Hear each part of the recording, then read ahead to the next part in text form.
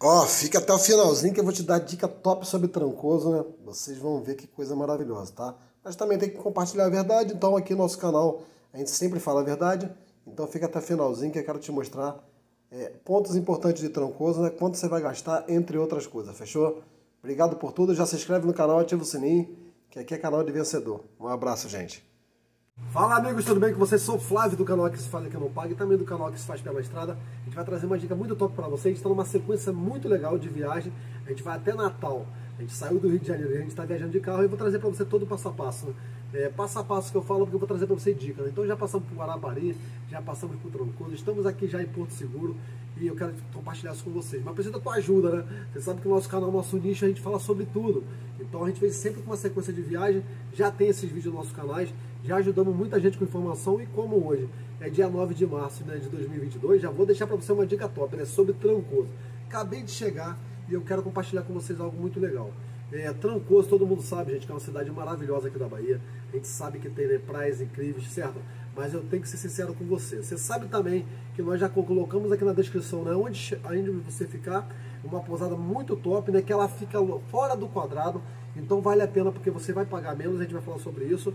E também é uma pousada com ótimo café da manhã, bem aconchegante, roupa de cama top, Wi-Fi, chuveiro, que é a pousada João e Maria, vale a pena, tá na descrição. Aqui também na descrição eu coloquei quanto que eu gastei de pedágio do Rio de Janeiro para cá, né, e combustível, e quanto que tá o combustível, porque teve um aumento aqui, inclusive estava tendo greve de caminhoneiro aí fechando as estradas. Se você não sabe, estava acontecendo isso aqui, tá? Se você for vir aqui visitar, já fica ligado e fica sabendo que você pode pegar engarrafamento ou se deparar aí né, com estrada fechada. Então nosso canal foi feito para te ajudar. Fechou até aí? Vamos falar sobre Trancoso, gente? Trancoso é uma cidade muito linda, sempre tive vontade de conhecer. Mas é que eu te falei, muita gente no YouTube, esse é o problema do YouTube, não compartilha algumas verdades que a gente precisa saber. Então, primeira coisa que você tem que saber é, é o quadrado, que é um dos pontos turísticos de Trancoso. Amigos, vou te apresentar o quadrado, né? Esse é um dos pontos mais importantes de Trancoso, onde o pessoal se reúne para comer, para beber tem bastante lojas, tem essas lojas bem pintadinhas, né? Pousada e restaurante. O problema todo é esse, que tudo aí dentro desse complexo é muito caro, né? Então aí também tem artesanato, tem bastante coisa legal, mas realmente isso é uma coisa que o pessoal tinha que, é, que ser revisto, porque isso realmente espanta bastante gente.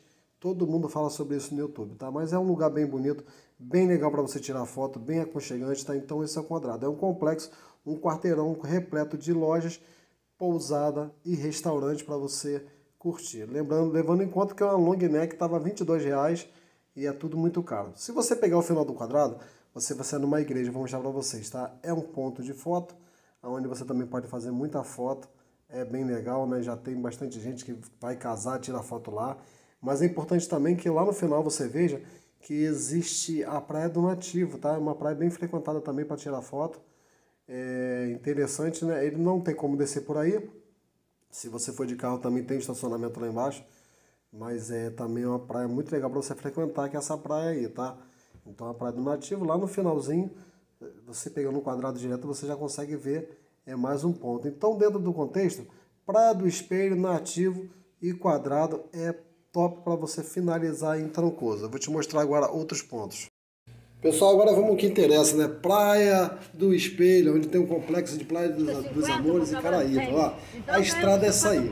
Em Trancoso, gente, faz sol e chuva toda hora, normal, muito abafado. Isso, então essa estrada de chão, para que é, você vá. Vale a pena? Eu acho que vale, né? Lá tem táxi na cidade e também tem quadriciclo. Não tem Uber, tá? Então vale a pena. 40 minutos de carro, né? Eu fui com o meu carro, então não tive problema. Tá eu, minha esposa e minha sogra a gente conseguiu chegar bem, não achei nada demais. A estrada tem buraco? Tem, mas é para quem morou no Rio de Janeiro aí, pegou muita estrada de chão, isso já é normal, né? Ó, a cidadezinha é bem legal, aí tem bastante artesanato aí, e é fácil, tudo tá com placa, né? Para você chegar nesse paraíso que eu vou te mostrar aí. Deixa eu te falar uma coisa para você entender. Presta atenção no que eu vou te falar. Estacionamento é 30 reais, tá? Então, para você parar, por isso que eu te falei que é bom você chegar na Praia do Espelho e ficar o dia todo, senão você vai gastar. Então, vai, fica o dia todo, já fica lá, porque não adianta você ficar rodando, que você vai gastar dinheiro e vai ficar cansado. Aqui é o ponto que eu te falei, né? Onde o estacionamento é 30 reais. Se você for para Caraíva, tem que tirar o carro e gastar mais um dinheiro. Então, se tiver com disposição de andar, você pode até andando pela, pela areia da praia, né? Só para você entender, tá? Então, estacionou aí. Agora eu quero te mostrar aqui algumas partes que é o seguinte, aonde você para sentar existe consumação, tá? Então tem de 200, tem de 150. Sentou, você fica ali no guarda-sol e você tem que consumir de 150 reais ou 200, tá bom? Para ficar na barraca. Aí são os restaurantes, né? Então para você sentar nas cadeirinhas que tem aí no guarda-sol, você tem que consumir. Né? Então, é, cada um tem o seu valor. Lembrando para vocês que muita gente ficam, aí é, tem muita árvore, tem muito, muita sombra, tá? Então, tem muita gente que sai aí da sua cidade, vai para lá, leva cooler e fica lá né, tomando cervejinha debaixo das sombras da barraca. Então, não tem necessidade de você pagar caro para ficar aí não, tá? Vou te mostrar algumas fotos. Ponto importante também, né? Não se esqueça de ver a lua.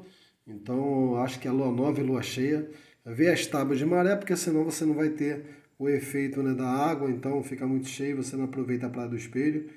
E é isso aí. Então, não se esqueça, ponto importante Trancoso, sinceramente falando, quadrado, Praia dos Nativos, Praia do Espelho, onde lá no final é Praia dos Amores, e se você for para a esquerda é Caraíva. E é isso aí, gente.